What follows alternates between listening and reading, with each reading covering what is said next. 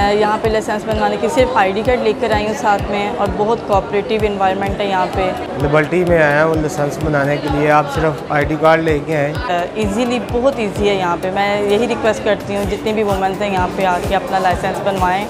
और बहुत अच्छी सर्विस दे रहे हैं। सबसे पहले हैं आप अपना टोकन नंबर लें और बैठें और आईडी कार्ड दें और आपका लाइसेंस बन जाए।